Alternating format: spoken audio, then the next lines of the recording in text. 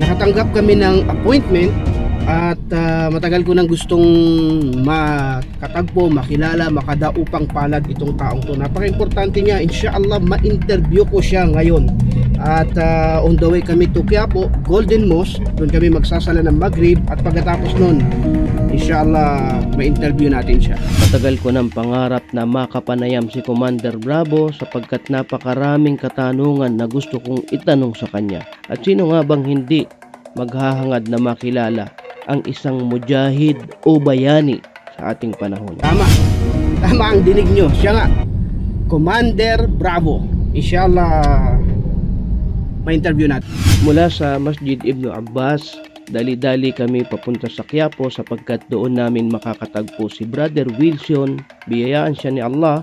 Siya ang nagsaayos ng pagtatagpo na ito.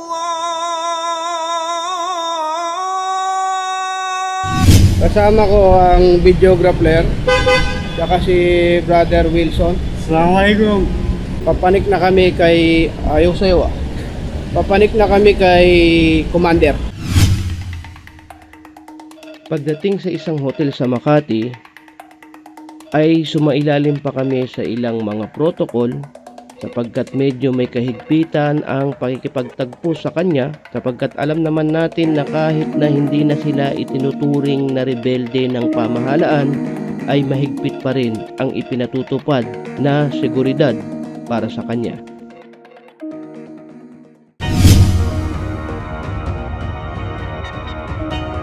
Bihirang pagkakataon po ito at alhamdulillah napagbigyan tayo kahit na medyo late na at uh, na traffic at galing pa sila sa isang sa ibang forum. Alhamdulillah nabigyan pa rin tayo ng chance ni Commander na maganap itong interview. Bismillah. Ah, Commander, kamusta po kayo? Alhamdulillah mabuti po. Alhamdulillah Rabbil Alamin. Wassalatu wassalamu ala asrafil mursalin. Sayyidina wa habibina Muhammad sallallahu alaihi wasallam. Wa ala alihi wa sahbihi ajmain. Amma bada Assalamualaikum warahmatullahi taala wabarakatuh. Magandang gabi po sa la- uh, lahat na na- nakikinig ng programa na itong ngayong gabi. Mashallah. Kami po ay natutuwa, masaya na makaharap kayo ng personal, alhamdulillah. Unang tanong po, saan ba galing yung salitang bravo? Ah, mag- alhamdulillah magandang tanong 'yan. Ah, yung 1971 po. Kami po pinasok ng mga ang sabi natin doon yung land library. Ah, gawa po ng gobyerno natin.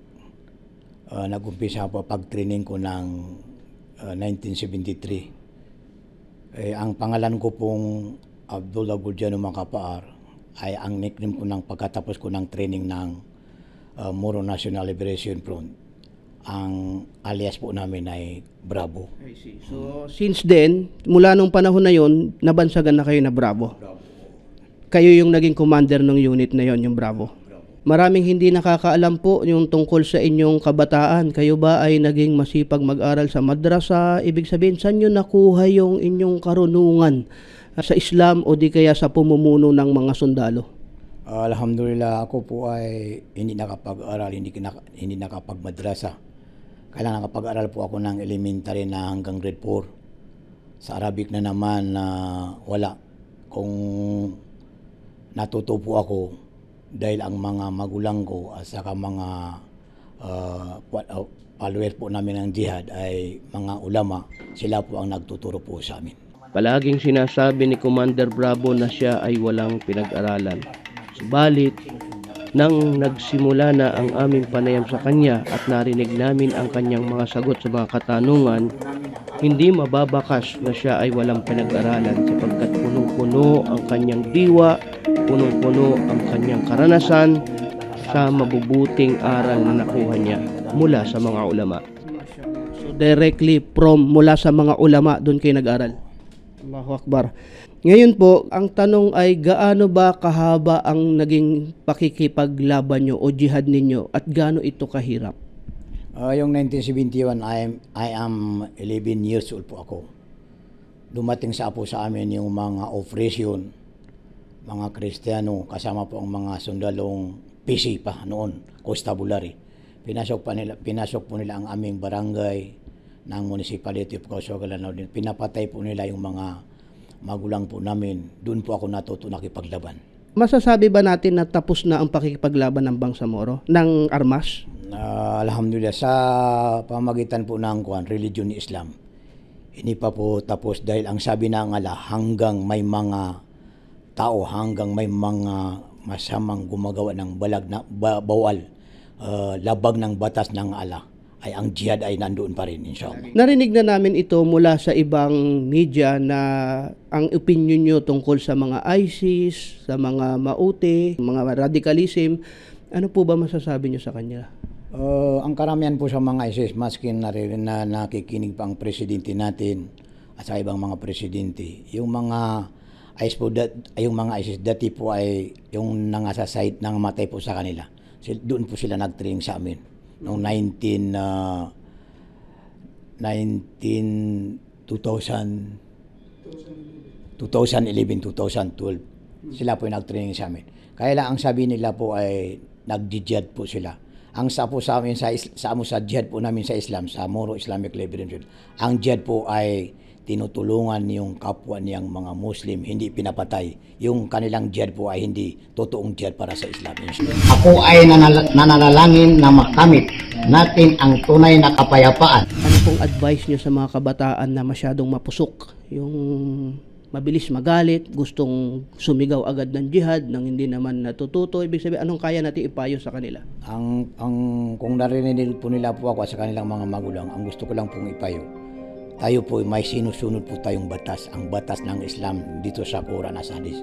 Maskin sino po ang dumadating sa ating nga sabi nila mag-jihad po tayo hanggang hindi po sinasabi ng mga ulama natin nga ito totoo ang jihad at saka yun ang fardu, fardu, fardu ng jihad ay huwag po tayong sasali sa mga ibang tro, uh, tro, uh, grupo nga sila po yung nag-jihad para sa sang, para sa kanilang sarili. Hindi po maganda yan. Ang magandang gawin po natin, uh, mag-aral po tayo ng mabuti ng Islam, mag-aral po tayo ng edukasyon para sa maitulong po natin sa bayan natin. Bakit nandito tayo sa dito sa mundo? Dahil mayroon pa tayo, mayroon tayong mission Bag, ba- bakit tayo pinapunta ng ala dito? May dito sa mundo. Dahil may mission po tayo. Ang mission po natin mahalin po natin ang ating mga magulang tatay natin nanay natin. Mahalin natin ang kapwa nating tao. Tayo po ay mag-aral ng Islam. Tayo po ay magbigayan. Tayo po ay uh, magpapasalamat sa isa-isa po sa atin ang gusto ko pong may may payo po sa mga anak namin mga anak po natin at sa mga binatilyong babae man o mga lalaki.